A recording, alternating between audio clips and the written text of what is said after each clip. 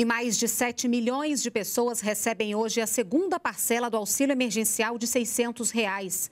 São informais e microempreendedores que estão no cadastro único, nascidos em maio e junho, e também beneficiários do Bolsa Família com NIS Final 5. A Caixa também vai pagar a primeira parcela do novo lote de aprovados para trabalhadores que nasceram em abril. Marinês, de Chapuri, no Acre, está esperando a segunda parcela do auxílio emergencial. Agora, no dia 25, eu, se Deus quiser, vou receber de novo. Porque esse dinheiro é uma, minha, uma ajuda para mim, meus filhos, de eu comprar alimentação para eles. Os pagamentos desta segunda parcela do auxílio emergencial começaram no início da semana para os beneficiários do Bolsa Família.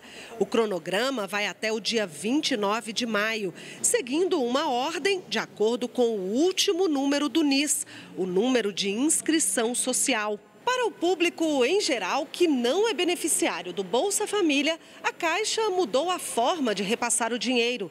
Isso para evitar aglomerações nas agências. Agora o crédito vai ser feito por data de aniversário nas poupanças digitais dos beneficiários. Para eles, o cronograma começou nesta quarta, dia 20, e termina em 26 de maio. Recebem primeiro os nascidos em janeiro e fevereiro. Quem nasceu em março e abril recebe no dia 21. Já dia 22, o pagamento é feito aos nascidos em maio e junho. Sábado 23 é a vez dos nascidos em julho e agosto. Dia 25 recebe quem nasceu em e outubro. E no último dia quem nasceu em novembro e dezembro. Railiane, de Belém do Pará, já está aguardando para receber. Pagar algumas contas atrasadas, né? Devido às atividades paradas, a gente ficou sem ter esse recurso para fazer os pagamentos.